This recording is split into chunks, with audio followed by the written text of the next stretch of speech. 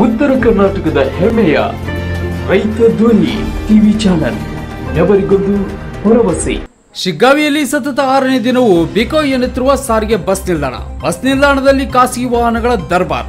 ಹೌದು, ರಾಜ್ಯಾದ್ಯಂತ ಕೆಎಸ್ಆರ್ಸಿ ನೌಕರರು ಬೇಡಿಕೆ ಈಡೇರಿಕೆಗಾಗಿ ಕೈಗೊಂಡಿರುವ ಮುಷ್ಕರಕ್ಕೆ ಶಿಗ್ಗಾವಿ ಬಸ್ ನಿಲ್ದಾಣ ಸತತ ಆರನೇ ದಿನವೂ ಸಂಪೂರ್ಣ ಸ್ತಬ್ಧವಾಗಿದೆ.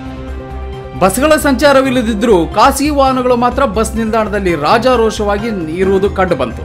ಕೆಎಸ್ಆರ್ಸಿ ವಾಹನಗಳು ಇದ್ದಾಗ ಯಾರಾದರೂ ಖಾಸಗಿ ವಾಹನಗಳು ಬಂದ್ರೆ ದಿಢೀರ್ ವಾಗ್ವಾದಕ್ಕೆ ಇಳಿತಿದ್ದ ಸಾರಿಗೆ ನಿರ್ವಾಹಕರು. ಇಂದು ಬಸ್ ನಿಲ್ದಾಣದಲ್ಲಿ ಖಾಸಗಿ ವಾಹನಗಳು ನಿಂತರು ಕ್ಯಾರೆ ಎನ್ನುವರು ಯಾರೂ ಇರಲಿಲ್ಲ.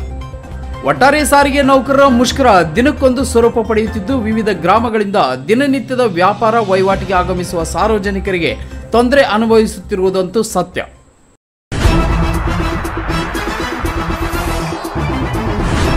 ಉತ್ತರ ಕರ್ನಾಟಕದ ಹೆಮ್ಮೆಯ ರೈತ ಧ್ವನಿ ಟಿವಿ ಚಾನಲ್ ಎವರಿಗೊಂದು ಭರವಸೆ.